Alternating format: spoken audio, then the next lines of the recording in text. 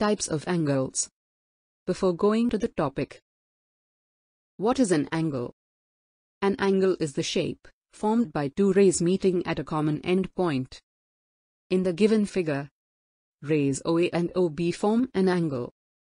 OA and OB are called the arms of the angle, and the common initial point O is called the vertex. An angle is denoted by the symbol.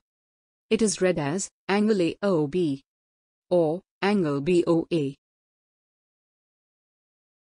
Measure of an angle. We measure the angles in degrees. It is denoted by We measure angles by a special instrument called the protractor. Look at the protractor, it has a shape like the English alphabet D. The curved side of the protractor is marked from 0 degree to 180 degree. It has two scales outer and inner. The outer scale starts at 0 degree from the left and inner scale starts at 0 degree from the right. The straight side has a midpoint marked as O, clearly. AOB is the baseline of the protractor. Types of angles. Angles are classified according to their measures. There are six types of angles. They are acute angle, right angle, obtuse angle, straight angle, reflex angle, full angle, or complete angle.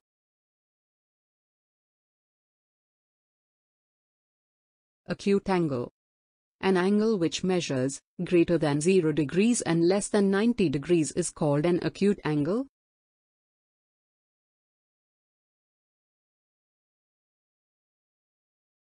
Example 30 degrees.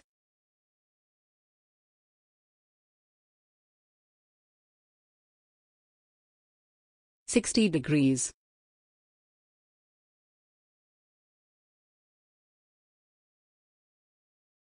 right angle?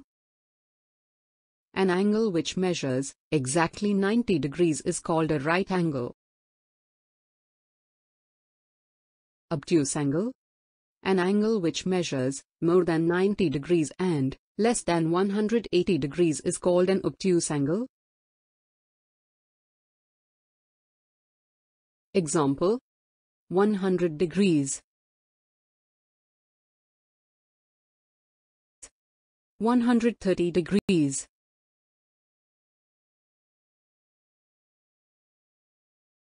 Straight angle.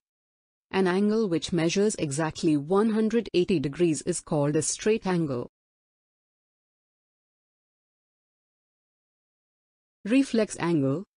An angle which measures more than 180 degrees and less than 360 degrees is called a reflex angle. Example 190 degrees.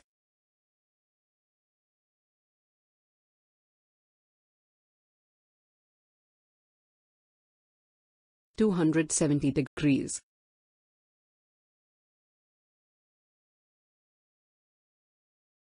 Full angle, or complete angle. An angle which measures exactly 360 degrees is called full angle.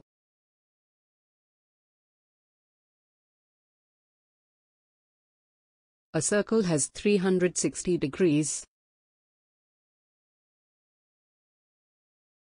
Thanks for watching.